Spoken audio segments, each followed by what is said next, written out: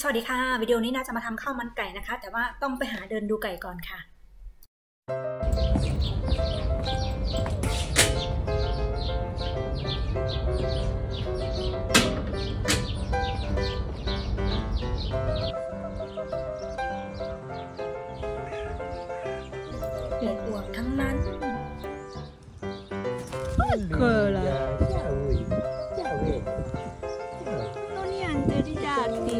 Tôi? tu ti vengono eh?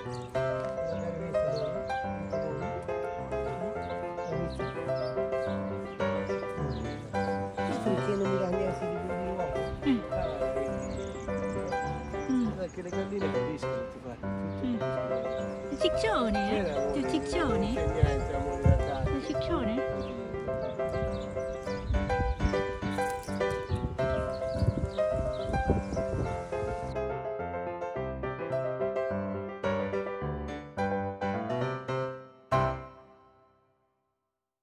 นี่คือผักที่จะใช้ทำน้ำซุปนะคะ ก็จะมีต้นกระเทียมหอมนะคะ รากผักชีพร้อมกับลำต้น แล้วก็หัวหอมใหญ่ ขึ้นช่ายฝรั่งนะคะ ขึ้นช่ายฝรั่งแล้วก็หัวเฟนเนลนะคะ หรือว่าเป็นหัวผักชี ผักชีลาวนะคะ และนี่คือไก่ที่จะใช้ทำข้าวมันไก่ในวันนี้นะคะ เป็นไก่บ้านนะคะ เนื้อไก่บ้านเอามาทำข้าวมันไก่มันจะอร่อยกว่านะคะ มันจะไม่เหนียวนะคะ แล้วก็มันมันจะไม่เยอะเท่ากับไก่ไก่พันนะคะ ที่เขาเอามาที่เขาเลี้ยงกันนะนาหมักเกลือไว้นะคะหนึ่งคืนนะคะ นาใช้เกลือเนี่ยหมักไก่ไว้หนึ่งคืนก่อนนะคะ ก่อนเอามาต้มทำน้ำซุปนะคะ และวิธีทำน้ำซุปให้ใสนะคะ ต้มน้ำซุปให้ใสนะคะ แล้วก็ ไม่ให้น้ำซุปเนี่ยเกิดฟองนะคะก็คือ ต้มน้ำให้เดือดก่อนแล้วก็ใส่เกลือนะคะ อันนี้เป็นเกลือฮิมาลายานะคะ เกลือเม็ดใหญ่ค่ะที่ใช้ประประจำนะคะ พอน้ำเดือดน้ำร้อนแล้วค่อยใส่ไก่ใส่ผักลงไปนะคะ วิธีนี้จะทำให้ เวลาต้มแล้วเนี่ย ฟองจะน้อยมากๆค่ะ ลดปัญหาในการเกิดฟอง เดือดแล้วนะก็ใส่ไก่ลงไปเลย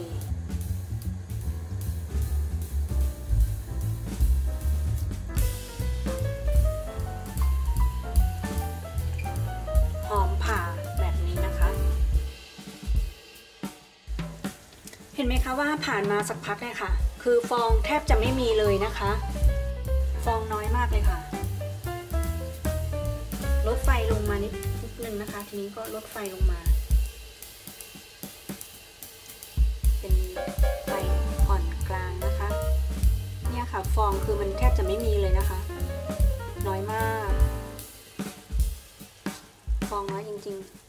ๆ ก็ต้มได้ที่แล้วนะคะ ผ่านไปประมาณเกือบชั่วโมงได้ค่ะและมันที่กำลังตักออกอยู่นี่คะก็จะเอาไว้ผัดกับข้าวค่ะ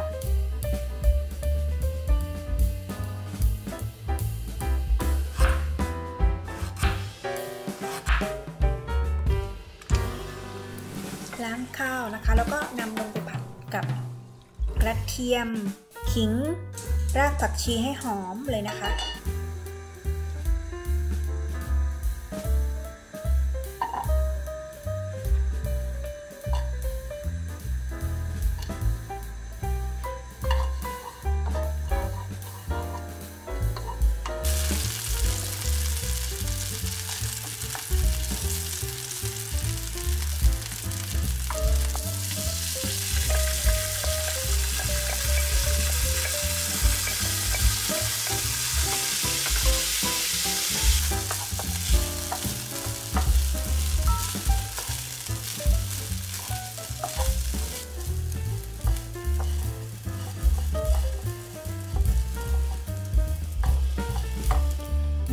หุงตามปกติ โดยใช้น้ำต้มไก่ในการหุงข้าวค่ะ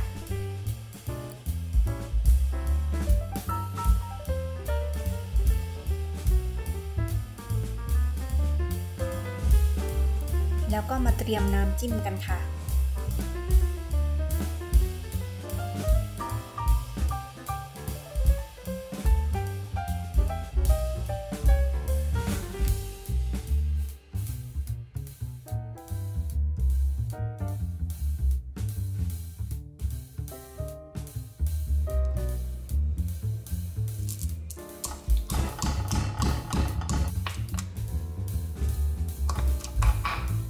นาใส่เต้าเจี้ยวไปด้วยนะคะ 1 ช้อนโต๊ะค่ะ ซีอิ๊วดำประมาณ 1 ช้อนโต๊ะค่ะ ให้ความหวาน แล้วก็ซีอิ๊วขาวค่ะ 2 ช้อน 3 ช้อนโต๊ะได้ แล้วก็น้ำมะนาวปรุงรสตามชอบเลยนะคะ ใครชอบรสไหนเนี่ย จัดไปเลยค่ะ